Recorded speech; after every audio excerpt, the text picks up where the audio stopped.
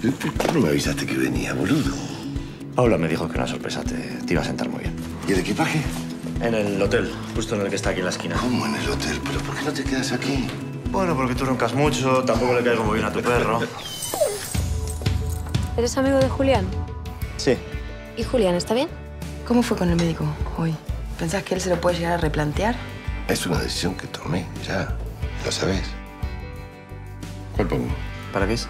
Para que lo adopten. Parece muy educado. Es muy limpio. Lo llevé a un colegio de pago. Papá, ¿qué haces aquí? Dame un abrazo.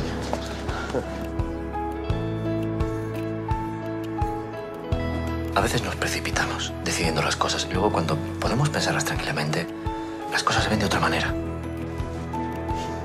¿Ves? Ya solamente por esto valió la pena que te vengas desde el Polo Norte, ¿o no?